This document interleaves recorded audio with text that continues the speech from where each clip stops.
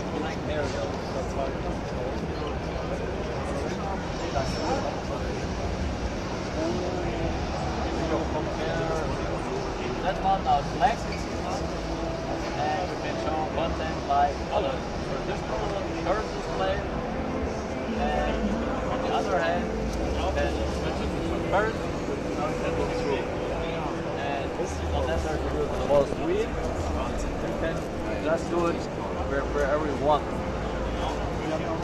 Now we, we can change it maybe to navigation, then we make it bigger, the real screen.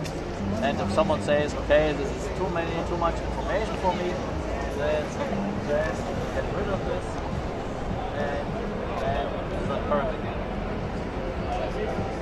And if you're in the park mode or in the